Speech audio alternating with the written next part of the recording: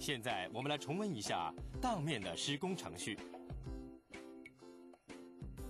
混凝土地面在铺做水泥砂浆之前，要先刷一层经工程师同意使用之 bonding agent 或者高浓度之水泥浆。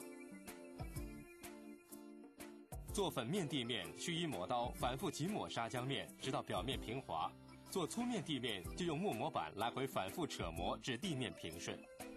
室外楼梯地面两边要做斜水及两边要做浅渠。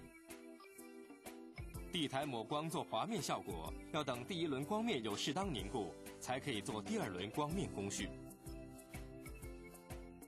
地台抹光做扫面效果，要等第一轮光面有适当凝固，工友要用钢丝扫把或竹扫把将地台面顺纹路扫。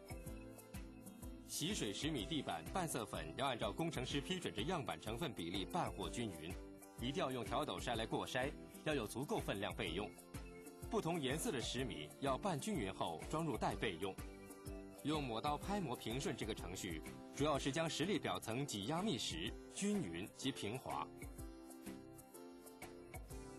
大石卵地面要先试做一小幅样板，以确定预留的厚度。铺磨水十米地面的标准，以全部十米都均匀露出视为合格。在建筑工地里，所有的工序其实都有很明确的指示和严格的规矩。